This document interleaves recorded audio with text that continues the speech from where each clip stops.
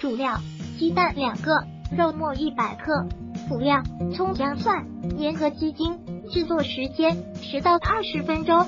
准备好肉末和两个打散的鸡蛋。肉末用葱姜蒜末和适量盐、鸡精调好，平底锅或者电饼铛烧热预热。用汤匙舀一勺蛋液放入锅中，在一侧放上肉末，趁着蛋液上层还没有完全凝固的时候，就把蛋皮的一边叠到另一边上，盛出即可。